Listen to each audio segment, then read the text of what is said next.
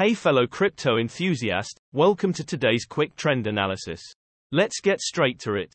In today's video you will find out how the price of Litecoin has changed and what the technical indicators SMA, EMA, RSI and divergence are showing. If you are not familiar with the indicators, check out the explanation videos down below in the description. Looking at the Litecoin hourly time frame, the price moved only slightly to the downside with around 1.2% in the last 24 hours, with a current price of 66.7. Moving to the hourly simple moving averages, the price broke the 200 SMA to the downside decisively with higher than average volume, which is a strong signal. At the moment, the price is between the 20 and the 200 SMA. If the price bounces off the 20 SMA which is currently at 66.6 it could be seen as a support and the 200 SMA that is at 67.1 could be perceived as a resistance to the upside. If there were to be a break either way, it means that there could be a continuous move in that direction.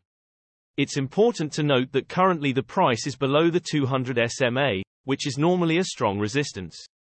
A potential move upwards, however, could be signaled if it were to break decisively upwards. However, the shorter time frames are not very accurate and the bigger time intervals like the daily should also be considered for longer price development. Looking at the hourly exponential moving averages, the current price is below the hourly ribbon, which is generally bearish and the ribbon could play as a resistance, so it is to watch if the price will bounce off it or break it. The current price to watch is around 67.4. The ribbon is relatively spread out so the resistance should be considered. Looking at the hourly relative strength index, the current hourly RSI is at 46, so it doesn't show signs of overbought or oversold conditions at this point. On the lookout for divergences in the hourly time frame, the price has already gone up owing to the last bullish divergence. Looking at the 3-hourly simple moving averages, the current price is between the 100 and the 50 SMA. If the price bounces off the 100 SMA which is currently at 66.2 it could be seen as a support and the 50 SMA that is at 67.5 could be seen as a resistance to the upside. Breaking either way signals a possible further move to the corresponding direction. Moving to the 3-hourly exponential moving averages, the current price is below the 3-hourly ribbon, which is generally bearish and the ribbon could play as a resistance, so it is to watch if the price will bounce off it or break it. The current price to watch is around 67.5. However, the ribbon is compressed, which means the current trend is not very strong and the trend change could be expected.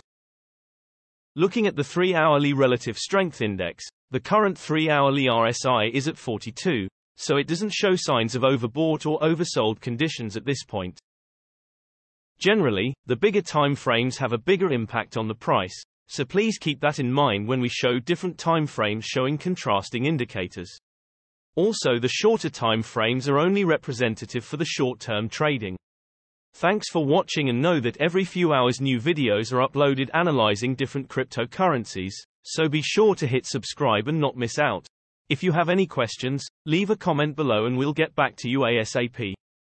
Also, Keep in mind that you should make your own investment decisions as cryptocurrency trading is very risky and these daily videos only an overview of trends and are a purely technical analysis without considering the fundamentals. See you next time.